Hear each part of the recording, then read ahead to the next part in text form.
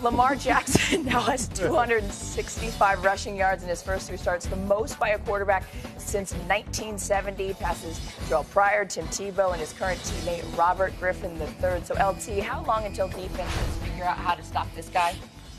Well, I, I think uh, it's going to be difficult to figure him out this season because defenses typically take a full offseason to see exactly what you do well, what you don't do well, and then they adjust and go from there.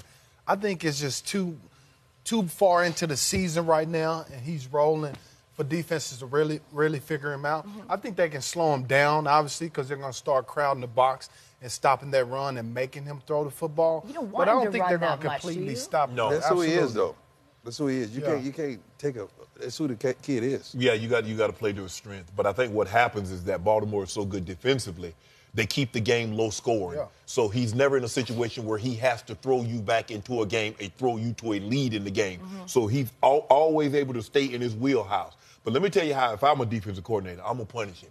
I'm gonna treat him just like a running back, and when even when he hands the ball off, I'm gonna punish him. So you think I'm, you, gonna, I'm, gonna, I'm gonna knock that run so out. You, you think you the first one just thought of that? No, oh, oh we can get the. So you don't think they think of that every week? You know what? Let's go hit it. Ask RG three. Ask Tim Tebow.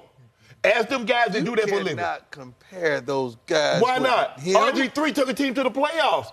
He won to run the division. What you mean I can't? You, you he won a Heisman Trophy it, just it, like Lamar Jackson. Yeah, it's a whole different animal, though. And, and, and I believe Robert Griffin is a better thrower of the ball than he was. No, you don't. Yes, I do. No, you RG, don't. he was.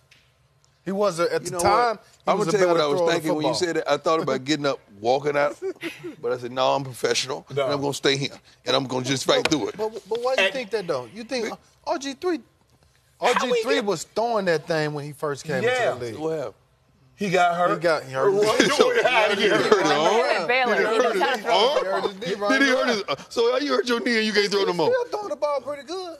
Remember you said that.